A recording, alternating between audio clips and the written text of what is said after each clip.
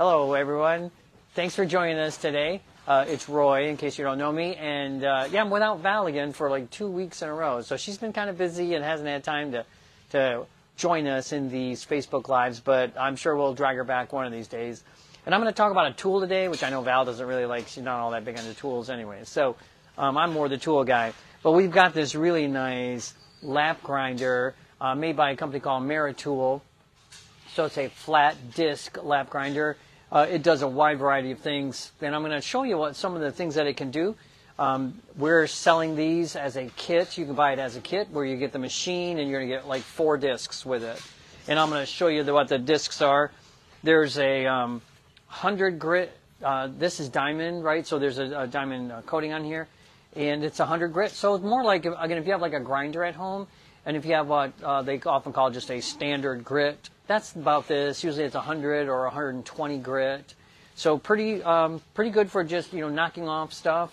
I'm gonna, like I said, I'm gonna demonstrate in just a few minutes here for you guys. It comes with a 270 grit, so more like what we might call a medium grit. Um, if you're trying to refine a little bit. What's really nice about this particular machine, this Ameritool uh, grinder, is that we can polish with it. So you can take your piece right to a polish. And uh, by doing that, you go through a series of different discs. So we go through the 100, the 270, then we go to this one, which is a 325, which but it sounds it sounds like it's just a little bit more than the 270, but this one I know it's hard to see. We've been using them. You can see we kind of we've been putting them through the paces. But this is a resin one, so the diamond coating is in a uh, resin um, coating here, and then because of that, this is actually more like a 600 grit. Um, like if it was diamond, like one of these plated diamond plated ones, it'd be like a 600 grit. So you can kind of relate it to that. Even like I said, I, it says 325 on it. I know that makes it sound like it's maybe more aggressive than you want, but I'm going to show you in a minute. It's actually really, really pretty good. So it comes with this resin one, which is uh, 325. The last disc is uh, a polishing pad. So normally, if this was new, it'd be all nice and white and shiny.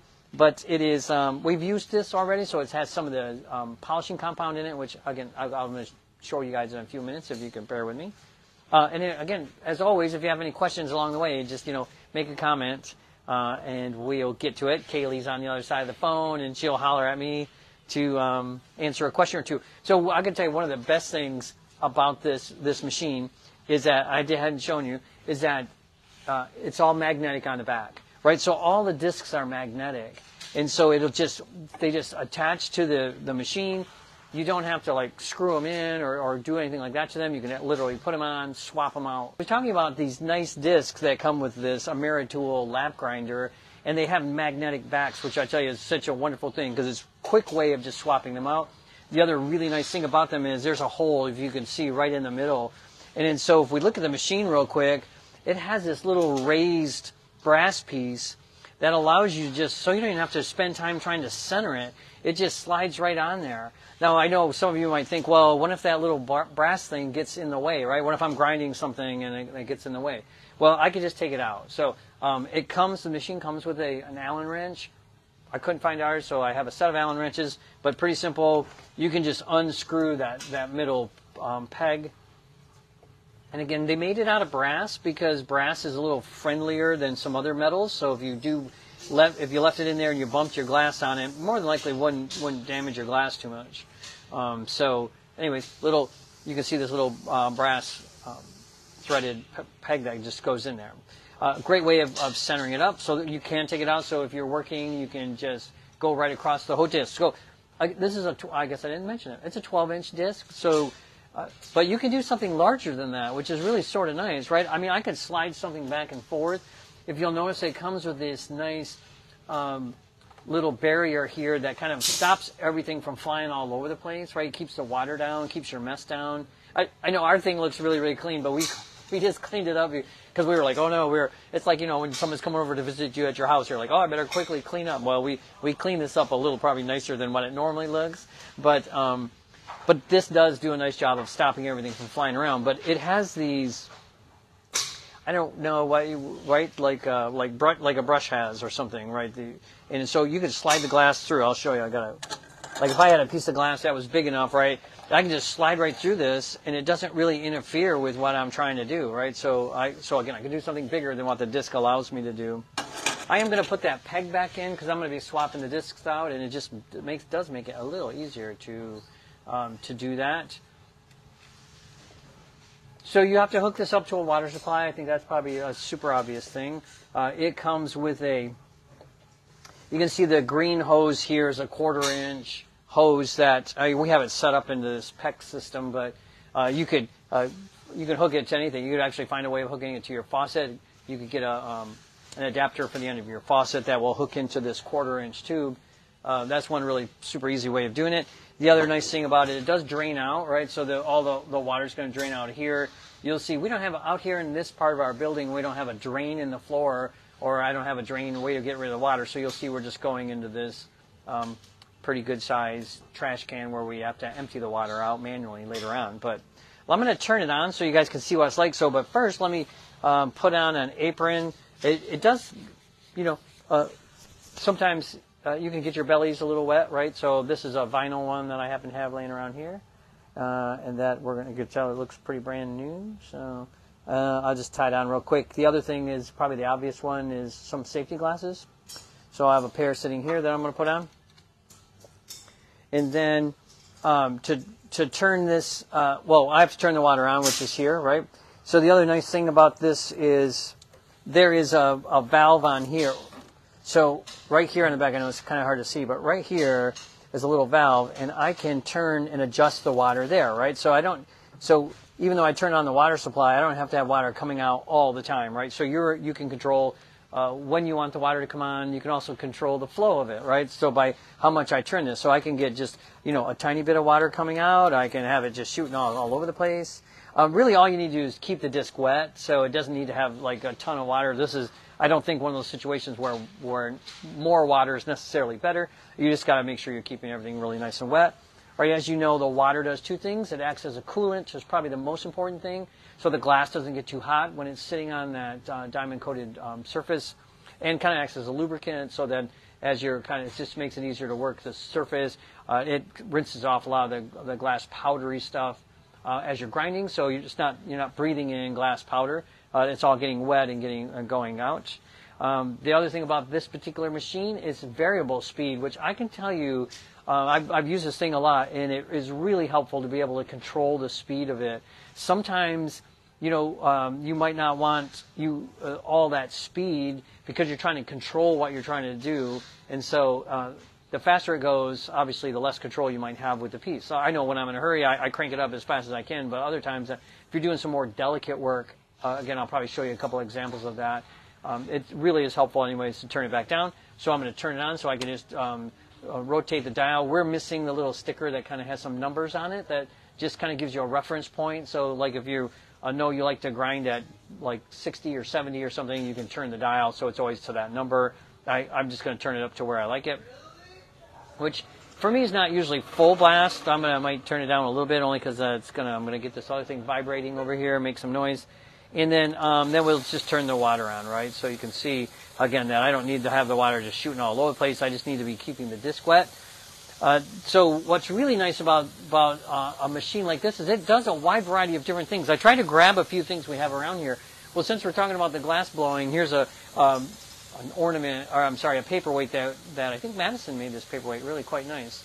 And then um, what happens off sometimes when we break off the glass from the blowpipe, it leaves this little bit of a peg. And so we want to grind that off. And so uh, what I can do here is just come in, set it on there.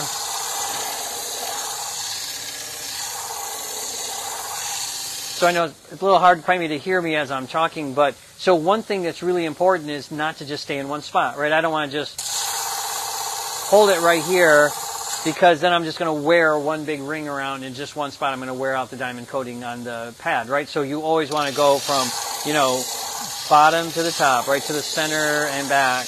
And then that uses the full disc. And then so you get a more even wear on your disc is all that's about. Um, now, uh, I'm not really applying a ton of pressure. I'm just kind of letting the weight of the glass at this point really just sort of do it. Uh, again, it gives me a little more control that way, especially when we're grinding things that are, uh, you know, round like this. You can imagine everything's going to get wet. It gets a little harder to hold on to. Uh, that's another good, real good reason not to necessarily have the full power running on this uh, machine. Uh, I don't know if you can see what I've done here just in a really short amount of time, right? I've kind of taking that little nub off. I'm not going to uh, probably uh, spend the whole time trying to do that. That would be nice if I did, but um, I'll finish it up a little bit later. I wanted to show you guys some other things that it can do. So here's a fused piece. So um, a student of mine, Gary is his name, a nice guy, was uh, making some pieces. So this was done with lots of little pieces of glass, and then we used just fiber paper to create a dam to hold everything in place, right? So that because it's a little thicker than a quarter of an inch, and we didn't want it to spread out too much. And again, it was made up of all these little tiny pieces. And what happens when you sometimes use a fiber paper as a dam is, if you can see, we've got all these tiny little sharp little um, points on the end. Is that showing up? Mm-hmm. Yeah, right. So that's kind of that's not much fun. I mean, we got to get rid of them in the first place, but it's just also just so you could, easy to get poked on the end of your finger. So I'm just going to come in and use this to, to take care of those. And then um, I can just rotate it. And again, I'm really just letting the weight of the glass I don't have to actually force the piece in at this point. I'm just letting the weight of the glass do the work.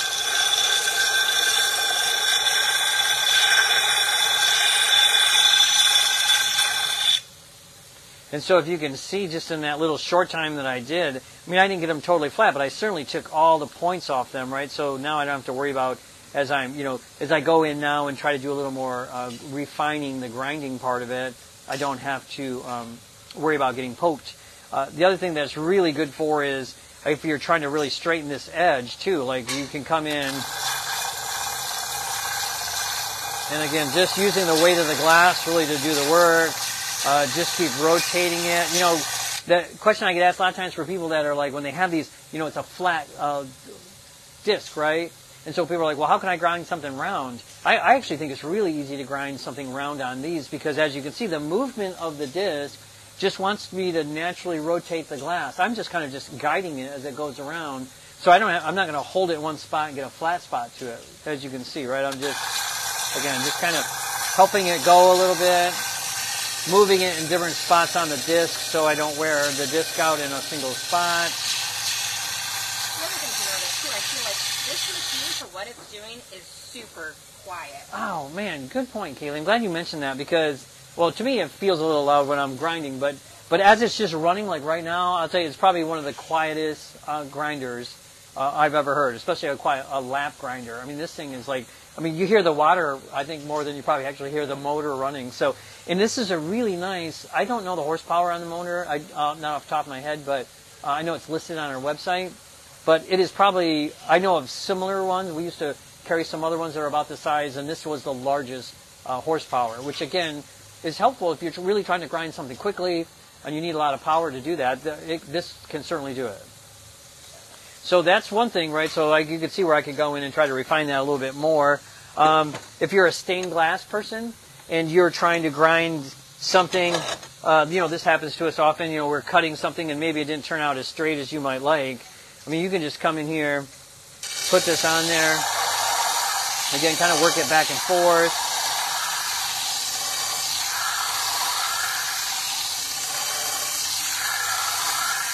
And you can see in a relatively short amount of time, like I've straightened that edge right out. So uh, if you're, I know if you're um, lead came copper foil person doing stained glass and you're doing borders and those types of things or geometric frank lloyd wright style craftsman style uh, again this is just a it's a time saver right if you ever tried to grind uh, trying to make something look straight using a standard grinder that has a round bit on it that that can be a bit of a challenge but this i'll tell you it's pretty hard to mess up right i just got to set it on there and move it back hopefully again you're noticing i'm using the entire disc right don't not getting stuck in one spot, kind of coming back and forth.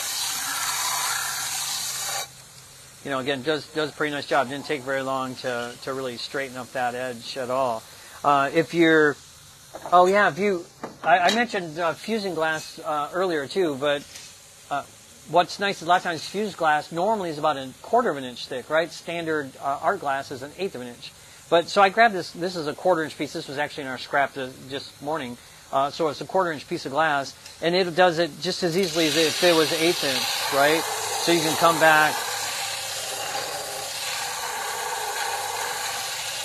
And you can see I got plenty of water on here. And for the most part, the water's really not flying everywhere. I mean, you can, if you look at it here, I'm not like just drenched in dripping water. You can look on the backsplash, right? There's not a lot of water there. So for the most part, most of it stays in here.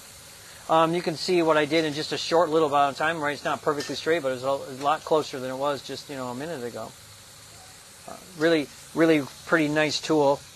The, um, oh, last thing I wanted to show you guys was this. So this was, uh, this is a technique uh, that I learned from a gentleman, Kent Lauer. I mean, you guys have heard of Kent Lauer, wandering around on the um, teaching uh, world out there. But so this is a technique he teaches where these are individual pieces of glass that are laminated together, and then you grind them to um, shape them. Uh, I did one here where that is. So this one, I don't know if you can tell, but it's not it's not very shiny. So I'm gonna I think I'm gonna try to use some one of the other grinders, just to, one of the other pads. I, I'll show you guys. All right, let me shut this off real quick. Just to, so, whoa, whoa, whoa. I was just shutting it off to let it. But here's one that I did um, same sort of concept, and you can see, I think that, you know, like I put a curve on here, right? So if you look at it from the side, you can see it's a curve. And then, so all these edges were ground. So I could do a nice flat one using this. I can also do this curved surface, was done also on that grinder. So again, going through those same steps of, if you remember, there was the four discs, so it's 100 grit, 270 grit, and then the resin grit, which is 325, and then the last would be the polishing grit. So I'm going to um, swap out the uh, disc real quick, show you what that's like. Um, I think I am gonna, I'm gonna throw on this 270 for a second. So let me throw this one on. Let me turn that on and then uh, I'm gonna grind a little bit on, I think that, oops. I'm gonna grind again on the paperweight even though it probably doesn't. It really should have been more on the 100 grit, right? I, I had a, I mean, if you're trying to take a bunch of glass off, the 270 grit's really not the way to go. So.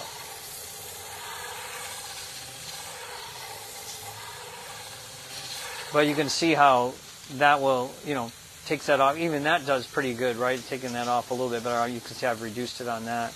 Um, I'll go back to the, this was that quarter inch piece that I, that thicker piece that I had on there. Again, this is not going to, um, this is not going to be fast because it's 270 grit. But if you're trying to polish up, or if you want to eventually polish, um, we have to. You ha- really have to go from every step. And so the, the goal is to remove all the scratches. So like when I go to the 270 grit, I'm trying to remove all the scratches that I got from the 100 grit.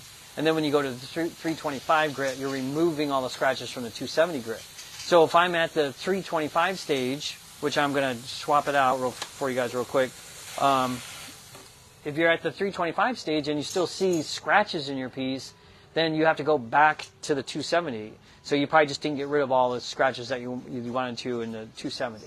Does, does that make sense, right? So like if the finer you go, if you're still seeing scratches, it's because maybe you hurried the one step. I know that's always my problem. I'm always in a hurry, so I rush some of the steps sometimes. But let me show you the resin one because this one is kind of nice. Oh, let's talk That about. magnet really works, doesn't it? Gosh, that I was gonna say that one's on there like like pretty pretty good. Uh, I want to talk about maintenance too in a, in a minute. We'll talk about a little bit of maintenance we can do to just make sure that this is working the way we want it to work. Again, this is the resin one. I'm gonna turn this one on. I'm gonna turn on the water, and um, I should have grabbed some paper towels, which I did not. I'm gonna go grab it real quick. You you guys can just enjoy you can enjoy watching the the, the machine run around. Another ASMR video right here. Oh my gosh, right? Yeah, so maybe some of you might be wondering. There's so there's a little vibration going on right here. Do you see that? I mean, that is pretty pretty typical. Um, we have ours on a plastic table, which you know I've been looking for something sturdier, and that's why we get a little vibration. Is because the the plastic table vibrates a little bit, right? So I'm trying to get you know a nice sturdy metal or wood table. You you wouldn't run into this problem. This is one of those you know the plastic tables that the legs just fold under. So again, probably not sturdy enough. Anyways, so this is like the uh, resin one. So this is when we're trying to really polish something up a little bit more. So this edge, um, you can see, I think the clear part is actually part of the actual glass. So I'm going to come in and just put this on the end here. and then just try to come, you know, go back and forth. You know, you can move the water somewhere, which is also nice, right? So if the water is not going in the right spot, oh, I just, I just shot Kaylee uh, with a bunch of water. That's that's nice. Wow, she.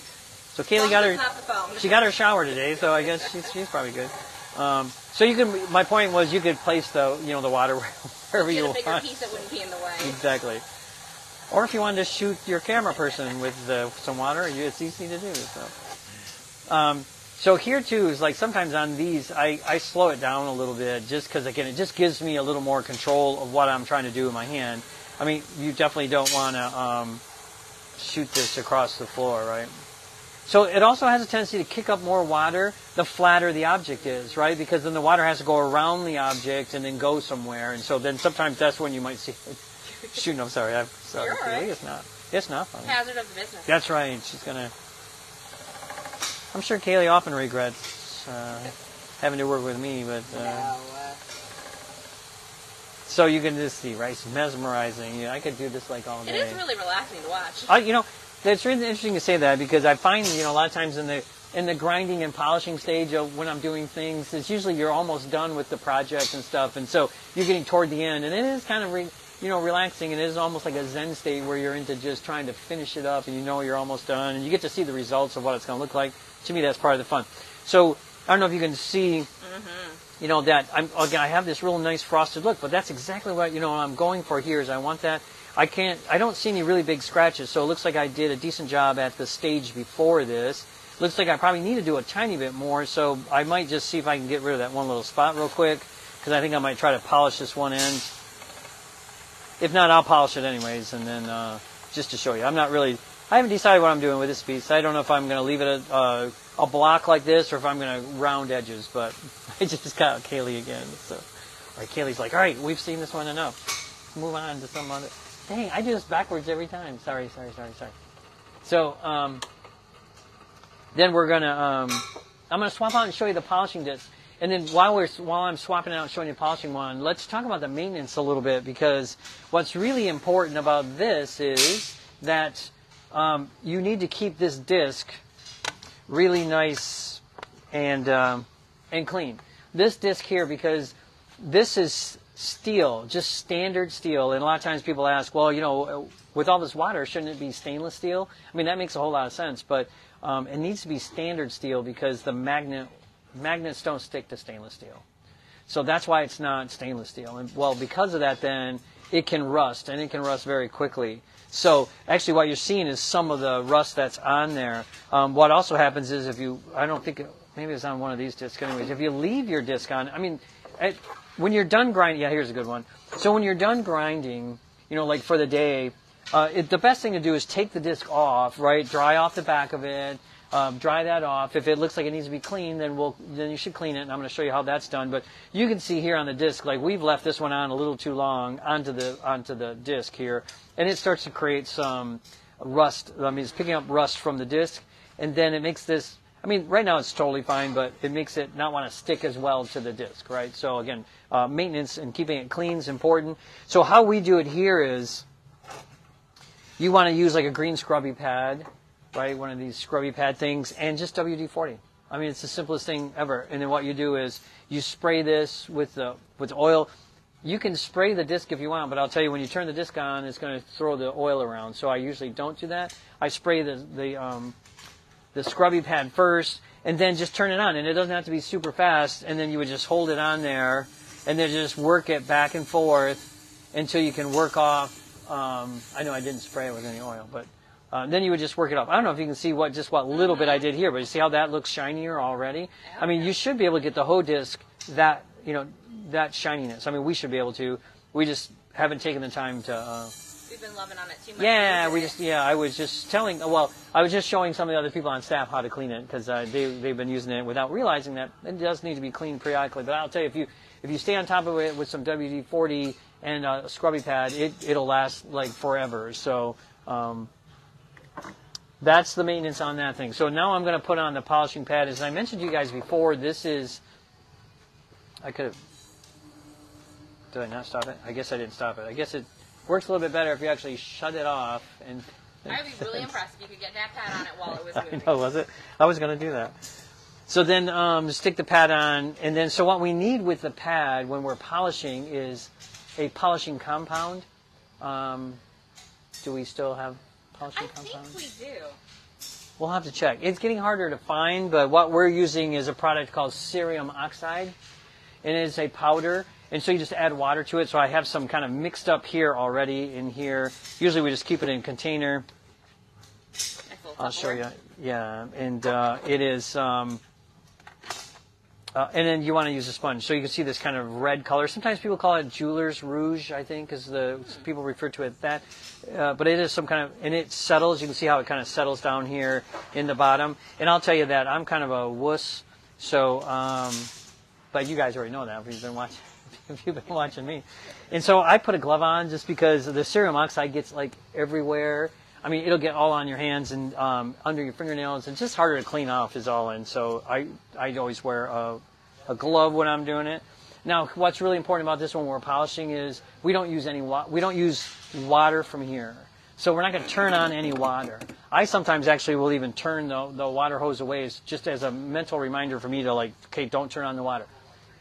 I mean, you can turn on the water, but all you're going to do is rinse off all the polishing compound you're putting on. You're just going to use more polishing compound, right? So, and then here's another one too, where we want to go. Uh, you want to go much slower, uh, for again a couple of reasons. Probably the most important thing is that eh, since we're not using any water, the only water we're using is what's going to come from this container. Uh, you don't want to get the glass too hot, right? Just from the friction. And I've actually seen where um, by you know people were so aggressive trying to polish something that they forget to keep adding water that this cerium and water mix, and uh, they got it so hot that the cerium oxide actually burns into the glass, which then you have to go to the ne- last step and grind that off again, and then come back and polish, right? So just just kind of a pain. So uh, I'm going to grab some of this. This is how uh, again I uh, normally do it. I think uh, my good buddy Kent taught me this. So kind of mix it up right because it'll settle. You just kind of mix it up with your sponge, and then we just drip it on while it's running, and you just try to cover the um, cover the disc, right? Uh, and then and then grab your piece, and then we would come in. And I could probably go a little faster. And again, same deal, right? Use the whole use the whole pad because you're going to do the same thing. If you just hold it in one spot, you're going to do it. Now you just got to be careful with the pads and try not to come in. Uh, you want to come in very uh, gently to the pad, right? If I come right down and hit it, especially this one where it has all these sharp edges, you don't want to gouge into the pad because then it can interfere with how well it wants to polish. So, um, anyway, uh, and then what you would do is periodically you would add some more of the of the cerium mix, right? And again, you can see I'm just squeezing the sponge, dripping that on there. And then come back in. Now, you know, again, I'll warn you that so the cerium oxide is it makes everything super slippery. You think water makes stuff slippery, it gets worse with the cerium oxide. Another reason why we don't run this at full speed. Uh, and then uh, and I don't know if the, I, to be honest, I'm not sure the glove is. I think the glove helps me hold on to it, to be honest, compared to my bare hand. But well, I don't know. Maybe I just think that. So then, um, if you can see this, can you guys see it? Oh yeah. Yeah, it's not bad. I mean, you can sort of see, like in one spot, anyways, uh, right in the middle, I guess. Probably because is this the side that I was doing? Is that the side I ground? Wasn't even the side I just ground. Oh, this isn't the.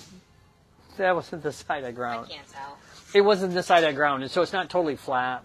So when I'm polishing, I don't know if you could see, but it was only polishing like in a high spot, like from here across the middle, where it's polishing because probably I didn't grind that side. So, but I did grind this side. So let's go. Let me do this one real quick and see if we can see something dramatic.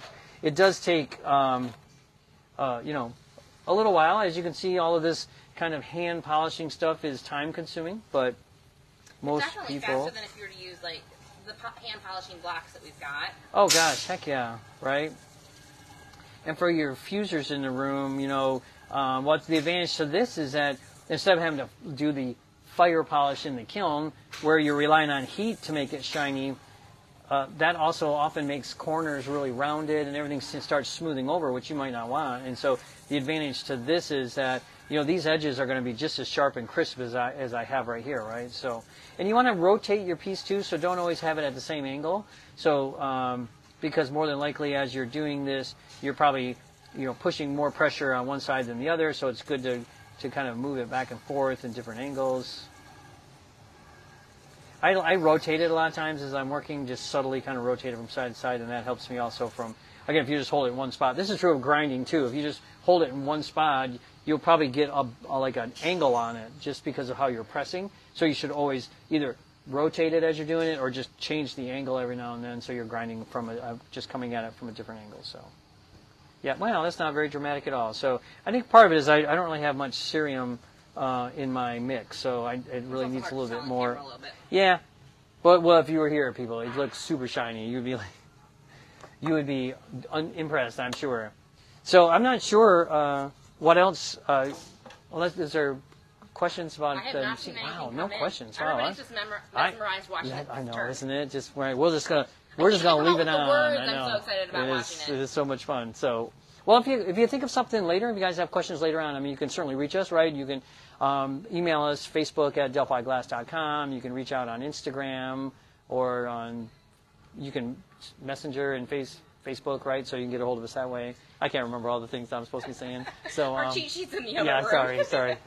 But uh, otherwise, that's it. This is a great tool, and I think everyone should buy one. So if you want to head to the website right now, you can you could probably get one. Yeah, absolutely. They are actually coming in stock. I do believe next week. It should be any time now. So Yeah, so I can tell you, the computer says March 3rd, which is, you know, just in a few days. I'm not, I, I would think probably easily by next week we'll probably have them in. So, um, but, you know, thanks for joining us today, and you'll probably see us in a few weeks, a couple weeks, and maybe Val will join us by then. I'll, I'll talk her into it.